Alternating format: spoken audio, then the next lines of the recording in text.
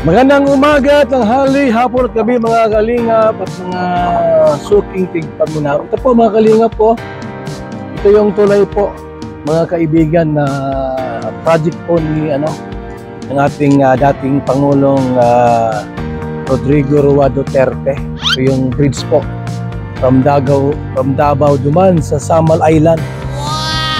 Ah, ito yung project po niya mga kaibigan na pinakamahabang tulay from Davao City tawid po ng Samal Island mga kaibigan at ah, maganda ito kasi halip na magbangka, magbaruto si pag may dala kang sasakyan po no? ito na po mga kalingap yan na po yan dyan no? Yan, kita niyo po yung project ni ah, dating Pangulong ah, Duterte. Yan na po, mga kalingap. So, mga kalingap ha, kasi po, ah, itong tulad ito mga kaibigan, kung wala ito na ginagawa po mga kalingap, eh, ginagamit po ng mga tao para makatawid sa Samal Island, bangka lang po. Bangka. Kaya ito mga kaibigan, no? Napakagandang tulay tayo. So ito na po mga kalingap. Napakalaking project ito. From Davao po. Anong ba anong barangay ito, sir? Lanang. Tapos tatawid sa Samal Island. Mga ilang kilometro yan, sir? Pag mula dito hanggang doon, ilang kilometro yan? Tatlong kilometro? Ah, 3 kilometers mga kalingap. Ha? 3.9 kilometers po from here po. Hanggang doon sa pinakadulo. Kulang-kulang apat na kilometro. Itong tulay pong ito na project po ni ah, dating Pangulong Rodrigo Roa Duterte. Malaking pundo ito mga kalingap, no? Malaking pera ito kasi tulay po yan eh. No? Tignan mo yung ilalim ng tulay, oh. Sulit na sulit mga kalingap. Ano kaya ito? Bakal ba ito? Ha? Ah, sinasakyan dati. Kuya, ano yan? Bakal kuya yung ano? Bakal yan? Hindi nabubulok yung bakal? Greenway pa lang to, sir. Ha? Greenway pa lang to. Ano Greenway pa lang to. Ah, hindi pala, hindi pa ito final. Yan ang final. Ah, ito ang final. Ikaw pa. Ah, ito. Ah, para sa equipment lang ito. Ah, okay. Hindi pa ito lang pinakatulay talaga, no? Ginawa lang para daanan ng, equip, ng equipment. Hmm. Grabe pa lang gastos, ano? Isipin nyo, ano pa lang, tulay para sa equipment, malaki ng gastos. Ito yung pinakatulay niya, gagawin pa lang. So, ibig sabihin mga kalingap, hindi pa nagsimula rito ang July.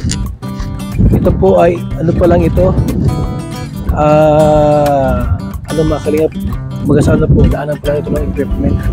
Itong na ito. So, yung mga ibang gamit po dadaan dyan. So, ganyan pala yan. Tingin ko po mas mataas mga kalingap yung yung tulay dyan. Dahil, uh, siyempre po, di ba? Daan yung mga barcode dyan eh. So, mas mataas yung tulay ilagay dito. Grabe ang ano, project ng ating dating Pangulong ah, Rodrigo Roa Duterte. Tatawid po ng Samal yan eh. So, ibig sabihin po, pag mayroon ng tulay yan, eh, mas maganda at eh, mas uunlad ang Samal. Di ba? Kasi mabilis na po yung ah, pagpasok ng mga mga kalakal yan sa Samal. Eh, malaking ano yan, isla, mga kalinga. So, yan, no? Na silip po natin dito sa Davao po, mga kalingap. Kahit hapon na po, mag-alas 6 na po ng hapon, pumunta ako dito para makita yung project po ng ating ah, dating Pangulong Rodrigo Roa Duterte or si Tatay Digong. So ayan, mga kalingap, shout out sa ating lahat. Salamat po sa inyong panonood sa ating vlogs po sa Davao. At Ah, isa po sa ating gagawin dito, projects po mga kaibigan, ay umikot po dito sa Davao del Sur. Davao Oriental, Davao del Norte, at Davao de Oro para magdala po ng ah, tulong sa ating mga kababayan. Tulad po nung pumunta kami ng Davao ng ano ng Malalag, Bulacan. Ang na-scout doon natin ni Kalingap Mick po, no? Ang na-scout doon ay ah, isang dalagita na iniwan po ng kanyang ina at ama. So, tulungan po natin mga kalingap at nais natin na hanggang sa kanyang pag-aaral po ay masuportahan po natin itong si Angel.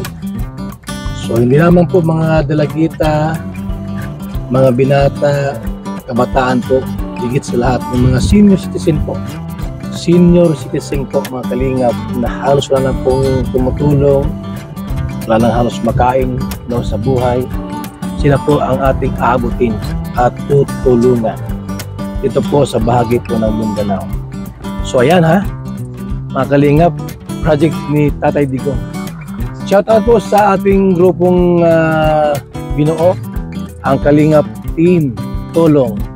Ayan po si Ate Christy, Dolores Dumondon, Joby Miragmag, Ann Ramirez Hiner, nandyan po si Inday Siba, Ermagalo, at Danilo ng Tagum.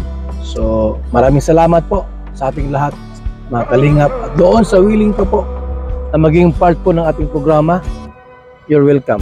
Kung tayo, let's go! At ah, paggabi na po mga kalingap. Paggabi na po. Ayan o. Ah 6.10 na. Kaya medyo po paggabi na po ang ah, panahon.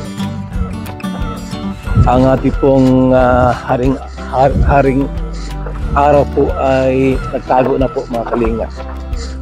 Salamat po sa inyong ah, walang sawang suporta po itong vlog na ito po ay isa lamang informasyon information update sa programang ito ng ating dating Pangulong Rodrigo Roa Duterte.